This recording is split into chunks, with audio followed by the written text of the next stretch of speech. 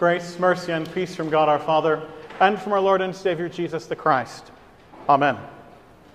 In the gospel you heard a moment ago, a man is at odds with his brother about an inher- uh, settle- inheritance settlement. He comes to Jesus hoping for a solution to his problem, but Jesus does not give him a satisfying answer. Instead, he tells a parable about a rich farmer who is blessed with larger crops than he can keep in storage. So he decides to build a bigger barn. Nothing unusual about that. We know people like that farmer. We may even see a bit of ourselves in him. We admire people who work hard and plan for the future. Yet that very night, the farmer dies. And the shocker in the parable is that God calls him a fool. Because in his case, he foolishly thought he was in full control of his destiny. Not so. His many years of hard work are destroyed, as we might say, by his untimely death. It's not a happy story, nor an uncommon one.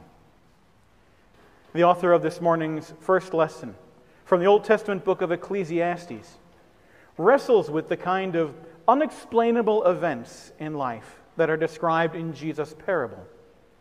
The Hebrew word Ecclesiastes means preacher or sage or wise one. Ecclesiastes is an elder statesman who comments on human affairs. This elder statesman has tried everything in his lifelong search for happiness and contentment. He has acquired wealth and been able to gratify his every desire. He has immersed himself in a search for the answers to the mysteries of life. But his quest has ended in frustration. And all of this sounds vaguely familiar to us. Each of you here this morning could cite examples of life's unexplainable mysteries from your own experience or the experience of someone you know. Here's a husband who works hard and builds up an estate.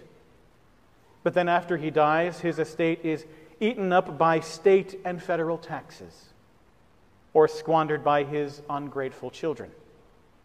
Here's a married couple who set money aside for their two children's education, only to see one of the children die in an auto accident at the age of 17, and the other wanting nothing whatever to do with any college education.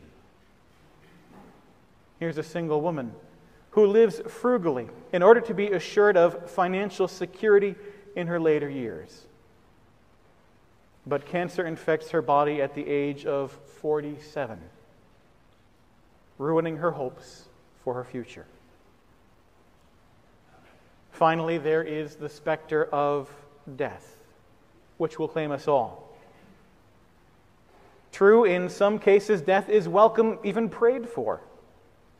But when death comes prematurely, at least prematurely from our human perspective, it seems to make a mockery of our belief that God loves us and that He wants always for us what is in our best interest. Having pondered mysteries like these, Ecclesiastes' advice to us is this Stop. Stop trying to control every aspect of your destiny. Stop asking God to explain everything to you to your satisfaction. Instead, accept the good things He blesses you with and leave everything else up to His divine wisdom. He does not allow any of us to have the last word in the management of our affairs. That last word he reserves for himself. Our best made plans may fall through, through no fault of our own. And in the end, because of our sin, death will snatch us all. But thanks be to God for us whom Christ Jesus has redeemed through his death and resurrection. In the hour of our death, each of us will be falling for all eternity into the hands of our grace filled Heavenly Father. So, says our wise friend Ecclesiastes, do continue with your financial planning. But as you do, remember that you're never alone. You're being held always in God's gracious hand. The old African American spiritual has it right. He's got the whole world in his hands.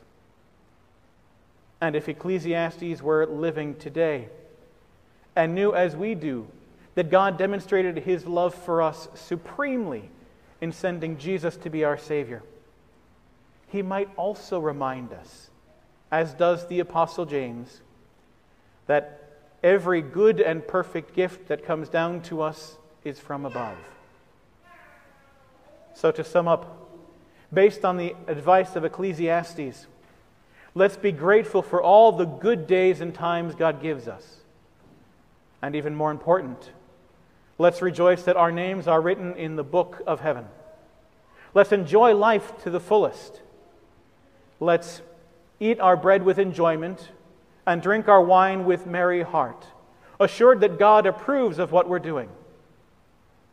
Lest you think those are my words, let me tell you they are a direct quote from Ecclesiastes chapter 9, verse 7. But lest you misunderstand, the author of Ecclesiastes is not saying that whatever will be, will be. Rather, he's saying that whatever God wills and permits is what will be. And as his redeemed people, we say that's okay with us. We trust him when he promises that he loves us, even in those moments when it may seem to us that he does not. And we take him at his word that he will never permit anything to separate us from his love. We trust him when he tells us that for Jesus' sake, in the hour of our death, he will receive us into his nearer presence in heaven, where, among other things, we'll have no more questions to ask of him, but simply be ready and willing and happy at all times to do his will. We are joyful Christians who recognize the blessings God gives as having come from him. We plan responsively for the future, even as we recognize that God holds all the trump cards because He is God and that He is entitled to use all the cards as He thinks best.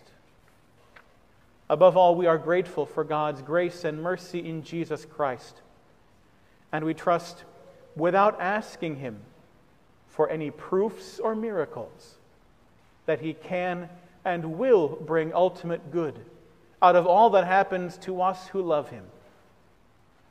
If not always in this life, then for certain in the life of the world to come. Amen. The peace of God, which passes all our understanding, keep your hearts and minds in Christ Jesus. Amen.